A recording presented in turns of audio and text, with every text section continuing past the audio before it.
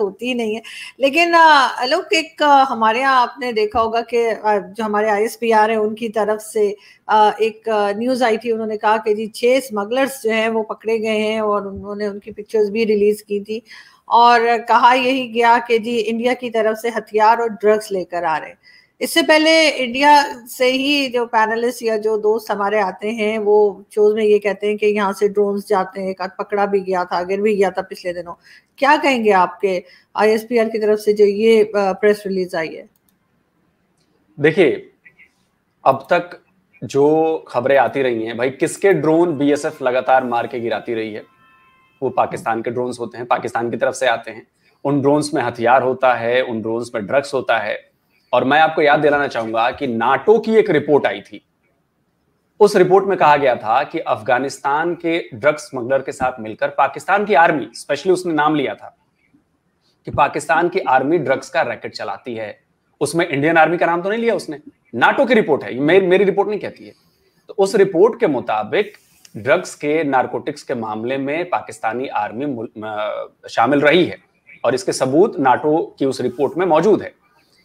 अब देखिए क्या हो रहा है कि अब चूँकि पाकिस्तान पर एफ़ का शिकंजा फिर से टाइट हो रहा है, क्योंकि कुछ ऐसी घटनाएँ हो रही हैं, आपके यहाँ टेररिस्ट घटनाएँ बढ़ रही हैं।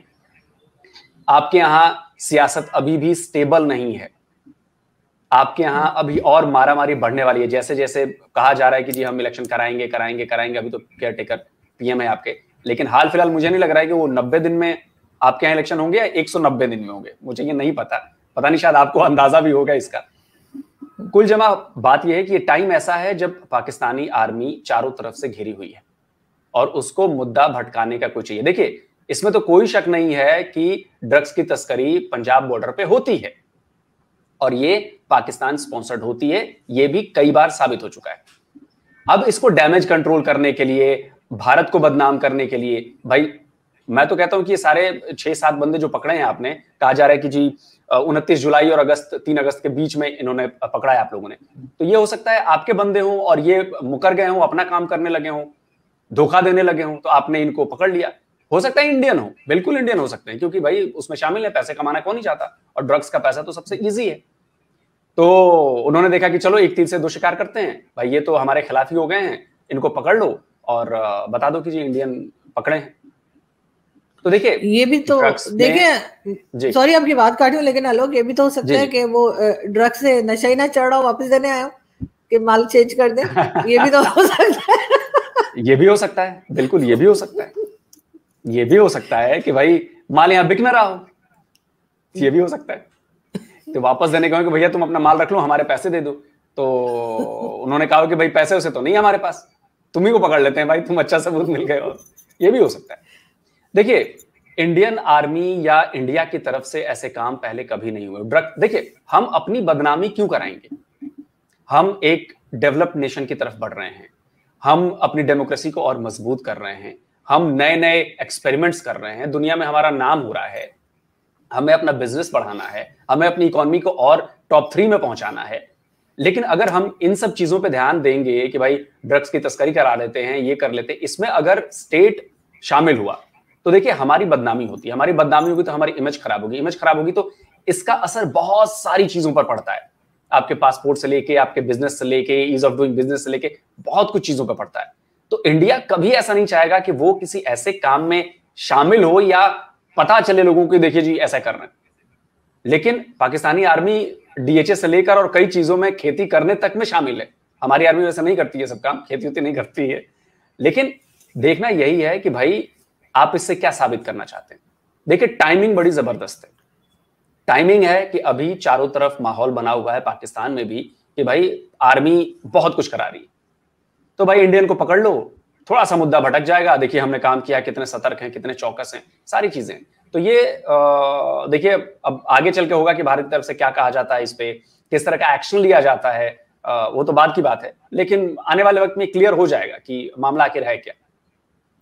बिल्कुल होना भी चाहिए, लेकिन साथ ही साथ एलओसी के ऊपर भी काफ़ी टाइम से फायरिंग बंद थी और कहा गया था कि जी कोई एग्रीमेंट हुआ हुआ है, लेकिन पिछले दिनों फिर ये न्यूज़ भी आई और कहा गया कि जी पाकिस्तान साइड पे एक आदमी जो है, वो उसकी डेथ भी हुई है और कुछ लोग जख्मी हुए हैं। तो आपके ख्याल से ये वैसे ही इतफाकन हुई है फायरिंग या जैसे कि आईएसपीआर की तरफ़ से बताया जा रहा है कि जी इंडियन साइड ने जानबूझ के बगैर किसी वजह के फायरिंग की अच्छा ठीक है। आरज़ू जी, मैं इसका जवाब देता हूँ। बहुत अच्छा जवाब है पास लॉजिकल जवाब है। सीज फायर वॉयलेशन का जो समझौता हम दोनों के बीच में लागू किया गया, समझौता बहुत पहले से था, लागू किया गया था जनरल बाजवा के टाइम पे। तो सीज फायर क्या है? भाई, आपकी आर्मी भी गोलीबारी नहीं करेगी, हमारी आर्मी भी गोलीबारी नहीं करेगी। लेकिन क्या उस सीज फायर में यह भी था कि आपकी तरफ़ से घुसपैठ होगी तो हम उसको रोकेंगे, नहीं छोड़ देंगे? या अगर उधर से आतंकी घुस रहे हैं तो हम फायर ना करें? ऐसा कोई समझौता नहीं है। और आपने देखा होगा कि लगातार एलओसी से घुसपैठ कराई जा रही है। ये घटना शायद 21 या 22 अगस्त की है, जहाँ तक मुझे याद है। 21 या 22 अगस्त की है। आर्मी की तरफ़ से दो आतंकवादियों को घुसपैठ करते हुए मारा गया। उसी में फायरिंग हुई थी। और वो दोनों आतंकवादी मर तो गए, लेकिन चूँकि वो घायल थे, मरे जाकर उस उस तरफ़, बॉर्डर के उस पार, वो घुसपैठ कर रहे थे। इसलिए उनकी बॉडी रिकवर नहीं हो पाई। अब इसमें क्या हुआ कि फायरिंग हुई होगी? हो सकता है कि आतंकवादियों के साथ किसी की ढाल बनाकर आ रहे हो, कोई लोकल आदमी हो जो उनको रास्ता दिखा रहा हो। हो सकता है उसमें मारा गया हो। ये मुझे लगता है, ऐसा हुआ नहीं हुआ। लेकिन इंडियन आर्मी की तरफ़ से बाकायदा इस पर बयान जारी किया गया। इंडियन आर्मी की तरफ़ से इस पर कहा गया कि जीदी जो इन्फिल्ट्रेशन हो रही थी वहाँ पे पुंछ वाला जो इलाका है, पुंछ में लगातार वहीं से खबरें आती हैं, पुंछ से ही। क्योंकि वहाँ नाले बहुत हैं, दर्रे बहुत हैं तो वहाँ से इन्फिल्ट्रेशन बड़ी ईजी हो जाती है। तो इंडियन आर्मी की तरफ़ से बाकायदा ही क्लियर कर दिया गया कि जो फायरिंग हुई, जो ये ऑपरेशन हुआ, ये हमने इन्फिल्ट्रेशन को रोका है। उसके लिए फायरिंग की गई है। जब हमारे सेंसस पे दिखा, हमारे कैमरों पे दिखा, हमारी पार्टी गई वहाँ पे, उन्होंने उनको रोका। उधर से फायरिंग हुई, इधर से फायरिंग हुई, तब जाकर हुआ ये। तो ये कहना है कि सीज फायर वॉलेशन का ये उल्लंघन है ये मुझे नहीं लगता कि सीज फायर वॉलेशन का उल्लंघन है। मान लीजिए हमारी तरफ़ से भी आपकी तरफ़ अगर कोई घुसपैठ हुई, मान लीजिए कोई गया तो क्या आप उसे छोड़ देंगे क्या? आप उसे घुसने देंगे? वो भी हथियारों से लैस आदमी। ऐसा तो नहीं हो सकता। तो इंडियन आर्मी ने अपनी बात क्लियर कर दी है कि भाई, दो हमने, उसमें एक हिजबुल का कमांडर था। जहाँ तक मुझे याद है, हिजबुल का था या किसी और का था? मुझे एग्जैक्ट ध्यान नहीं आ रहा। लेकिन आपको याद होगा कि इसके पहले भी इसी महीने, अगस्त के महीने में ही, सात अगस्त को तब भी घुसपैठ हुई थी। और उधर से बॉर्डर पार से वहाँ पे आए थे और उसमें एक डिविजनल कमांडर था हिजबुल मुजाहिदीन का और उसका बॉडीगार्ड ये दोनों मारे गए थे। और इनकी बॉडी जो है वो रिकवर हो गई थी। तो आप सोचिए कि जब घुसपैठ होगी तो क्या हम अपना डिफेंस नहीं करें? क्या घुसपैठ को हम रोके नहीं? आईएसपीआर घुसपैठ बंद करा दे। मगर यहाँ तो ये कहा जा रहा है कि आम शहरी था जिसको गोली लगी है और खेतों में भी आम लोग काम कर रहे थे जो जख्मी हुए हैं। ये तो ये कह ही नहीं रहे कि वहाँ कोई जा रहा था या आ रहा था इस किस्म की बात। तो बताइए तो, तो और क्या कहेंगे? वो तो अगर बदनाम करना है अपने आप को बचाना तो वही कहेंगे भाई सिविलियन मार दिया। हम्म। ये तो यही कहेंगे ना सिविलियन मार दिया। लेकिन हमारी आर्मी कह रही कि हमने दो आतंकवादियों को मारा है। आ, लेकिन साथ साथ करीब क्या कर रहे थे फिर? खैर हमारी साइड पे तो एलओसी के काफ़ी नज़दीक तक लोगों के घर तक बने हुए क्योंकि मैंने खुद देखे हैं। कि काफ़ी नहीं हमारी साइड नज़दीक तक है। जम्मू में जम्मू और पुंछ वाले सेक्टर में हमारे पास भी है जो बाढ़ है हमारी बाढ़ के बहुत करीब खेती बाड़ी होती है वहाँ पे लोग जाते हैं। उधर की फायरिंग में भी पहले जब गोले बरसते थे इधर भी तो इधर भी आम हम्म। आदमियों की जान जाती थी। ऐसा नहीं है कि नहीं गई है। बिल्कुल ऐसा है। लेकिन एक तरफ़ तो पाकिस्तान ये बात भी करता है कि जी हम भारत से बात करना चाहते हैं। जो नई केयर टेकर गवर्नमेंट आई है, उनके मंत्री जी भी जो है वो काफ़ी इंटरेस्टेड है कि जी इंडिया से बात करनी है। और दूसरी तरफ़ इस किस्म के एलिगेशन अगर लगेंगे तो आपके ख्याल से क्या कोई बात हो पाएगी? देखिए, अभी तो फ़िलहाल बात हो पाना बहुत मुश्किल है। मुझे नहीं लगता कि ऐसे में बात हो पाएगी। देखिए, बातचीत का माहौल बनाने के लिए कदम उठाने पड़ेंगे। ऐसे कदम जो विजिबल हों, उन नज़र पड़े। अगर एलओसी पर घुसपैठ होती रहेगी तो बातचीत नहीं हो सकती। अगर आ, हमारे खिलाफ काम होते रहेंगे तो बातचीत नहीं हो सकती। आपको लगता है कि जी कश्मीर सबसे बड़ा मुद्दा है और आप कश्मीर पर अपना स्टांस जो है आपका हम सबको पता है तो हमारा भी स्टांस फिक्स है। तो अगर आप चाहते हैं कि हर बातचीत में हर जगह जाके आप कश्मीर का नाम लेते हैं तो भाई पहले आपको अपनी पॉलिसी तय करनी पड़ेगी कि हमारी अगर बातचीत करनी है तो हमारी पॉलिसी क्या होगी? अगर वही 47 से जो पॉलिसी चली आ रही है, वही पॉलिसी होगी। तो बड़े अफसोस के साथ कहना पड़ रहा है मुझे कि बातचीत ऐसे माहौल में बहुत मुश्किल है, बहुत मुश्किल है। अभी तो रिसेंटली इन्होंने मशाल मलिक जो कि यासिन मलिक की वाइफ है, उनको भी special assistant to prime minister बना दिया है और क्योंकि आपने कश्मीर की बात की तो अब ये भी कहा जा रहा है कि वो हर जगह जाके कश्मीर के इशू को हाईलाइट करेंगी और बात करेंगी। तो आपको लगता है कि इससे कुछ फ़र्क पड़ने वाला है? अच्छा आरज़ू जी, जहाँ तक मुझे याद है और जहाँ तक आपको भी याद होगा, पाकिस्तान ने कोई ऐसा प्लेटफॉर्म दुनिया में छोड़ा है जहाँ पर जाकर कश्मीर का नाम न लिया गया हो? या कोई आपके यहाँ का बंदा कश्मीर का जिसने नाम न लिया, आपके पीएम हो, आपके फॉरेन मिनिस्टर हो? भाई फॉरेन मिनिस्टर तो आपके अभी आए थे एससीओ में, यहाँ भी आकर वो कश्मीर बोल गए। क्या कोई फ़र्क पड़ा इंडिया के ऊपर या दुनिया के ऊपर कश्मीर के रुख को लेकर? हमने जी ट्वेंटी कामयाबी से कराया कश्मीर में। और देखिए उसका असर मैंने आपको बोला था शायद पिछले किसी वीडियो में आपके साथ ही बातचीत हो रही थी उसमें बोला था मैंने कि बड़ी बात यह नहीं है कि जी ट्वेंटी की मीटिंग हो गई है कश्मीर में। हम्म। बड़ी बात यह है कि उसके बाद जो होगा जो दुनिया के लोगों का नज़रिया बदलेगा जो लोग वहाँ पर आएँगे इसके बाद वहाँ पर देखने वो जाकर बताएँगे अपनी अपनी कहानियाँ कि हमने कश्मीर में क्या देखा। तो जो पाकिस्तान का चश्मा पहनकर दुनिया देख रही थी कश्मीर को वो चश्मा फूट गया। वो चश्मा अब क्लियर हो गया बिल्कुल। हम्म। तो लोग सीधे ग्राउंड पे आके देख रहे हैं कि कश्मीर में क्या हो रहा है। पाकिस्तान की मजबूरी है। यासिन मलिक के साथ अभी क्या हो रहा है आपने पता ही? यासिन मलिक ने स्वीकार किया कि हमने एयरफोर्स के ऑफिसर्स की हत्या की। तो भाई उन पर केस चलेगा, वो जेल में अभी सजा भी होगी, सब कुछ होगा। ऐसा नहीं है कि नहीं होगा। अब पाकिस्तान को लग गया कि यासिन मलिक तो हमारे किसी काम के नहीं है। तो जिस काम के लिए मिशाल मलिक को उनकी शादी कराई गई थी, जिस काम के लिए, वरना आप सोचिए कि एक पढ़ी लिखी महिला यासिन मलिक जैसे आदमी से शादी क्यों करेगी? सबसे पहला सवाल मेरा। तो जिस काम के लिए किया गया था, अब उस काम को आगे बढ़ाने का वक्त आ गया है पाकिस्तान के लिए। तो इसीलिए मिशाल मलिक को ये पोस्ट दी गई है। अब मिशाल मलिक कश्मीर का चेहरा बनेंगी पाकिस्तान की तरफ़ से। अब उनको हर जगह किया जाएगा उनको बताया जाएगा कि देखिए मैं एक कश्मीरी की पत्नी हूँ और देखिए मेरे पति के साथ क्या हो रहा है। बेटी का तो आपने देखा ही होगा। हम्म, बेटी भी आके ज्ञान दे रही है उनकी। तो कुलजमा ये तो प्री प्लान है और इंडिया को पता है कि ये सारी चीज़ें प्लानिंग हो रही है और कैसे वो बढ़ेंगे। और इंडिया ने इसका काउंटर भी कर रखा है। आप जैसे जैसे वहाँ से चीज़ें होंगी, आप देखिएगा धीरे धीरे काउंटर भी होगा। ऐसा नहीं है कि नहीं है। तो मिशाल मलिक को जो उन्होंने बनाया है, वो इसीलिए बनाया है क्योंकि कश्मीर कॉज को ज़िंदा रखा जा सके। और पाकिस्तान में बिना कश्मीर कॉज को ज़िंदा रखे, ना तो आर्मी सर्वाइव कर सकती है, ना आपकी सियासत सर्वाइव कर सकती है। इसीलिए कश्मीर कॉज को ज़िंदा रखना आपकी मजबूरी है। बिल्कुल शायद यही वजह है कि वरना हम लोग खुद बहुत से लोग पाकिस्तान में भी इस बात को पसंद नहीं कर रहे कि मशाल मलिक को जो है वो इस तरह से पोस्ट दी जाए कि वो कश्मीर के ऊपर बात करें। लेकिन अगर हम कश्मीर से हटे और आजकल की जो सबसे हॉट न्यूज़ है, कहना चाहिए ब्रेकिंग न्यूज़ हॉट न्यूज़ जो भी समझ लें जो कि इंडिया की चंद्रयान को लेकर। उसमें मैं देख रही थी कि बीबीसी वर्ल्ड का एक क्लिप लगा हुआ था, किसी से बात कर रहे थे, वो इंडिया में किसी से बात कर रहे थे, वो कह रहे थे कि इंडिया में जहाँ इतनी गुर्बत है, वहाँ पे इस तरह के प्रोजेक्ट्स पे पैसा लगाना कहाँ तक ठीक है? क्या कहेंगे आप? ये ये पहली बार ब्रिटिश मीडिया की तरफ़ से या ब्रिटेन की तरफ़ से नहीं हुआ है। ये पहली बार नहीं हुआ है। इसके पहले लगातार, मैं पिछले कम से कम पंद्रह सालों से मैं ऐसे आर्टिकल्स ब्रिटिश मीडिया के द्वारा पब्लिश किए जा रहे हैं, उनको देख रहा हूँ, उनको पढ़ रहा हूँ, जिसमें सेम यही बातें कही जाती है। कि भाई इंडिया में तो गरीबी है अभी इंडिया में तो साफ़ पीने का पानी लोगों को हंड्रेड परसेंट लोगों को मैसर नहीं है। लेकिन इसके बावजूद भी स्पेस पे पैसे खर्च कर रहे हैं। तो भाई ब्रिटेन द्वारा जो एड दी जाती है भारत को वो एड बंद कर दी जाए। ये पिछले कई हम्म। सालों से मांग उठ रही है। ये पहली बार नहीं हुआ है। और ज़ाहिर सी बात है कि ब्रिटेन का एक वर्ग जो भाई ब्रिटेन ने करीब करीब पूरी दुनिया पर शासन किया है। उनकी सत्ता चली है। और कुछ ना कुछ तो ऐसा ही करते हैं। तो उन्होंने ये बात की है। और एक वर्ग है जो बात करता है। अच्छा मैं इसका एक जवाब देना चाहूँगा। जवाब यह है कि एक रिसर्च ब्रिटिश पत्रकार ने की थी अभी कुछ दिनों पहले, और उस रिसर्च के मुताबिक इंडिया से जो ब्रिटेन ने पैसे चुराए, जो लूटे, उनकी कीमत आज के दौर में होती है 45 ट्रिलियन डॉलर्स यह खबर अल जजीरा ने कैरी की थी। आप कहेंगे तो मैं उसका लिंक भेज दूँगा, आप पढ़िएगा उसको। 45 ट्रिलियन डॉलर्स की संपत्ति जो है उन्होंने इंडिया से लूटी। तो मैं कहूँगा कि अगर चार पाँच बिलियन दस बिलियन का एड आ रहा है तो वो काट के बाकी पैसा हमारा लौटा दे भाई। क्यों नहीं लौटाते वो? जब लूट की तब समझ में नहीं आता है।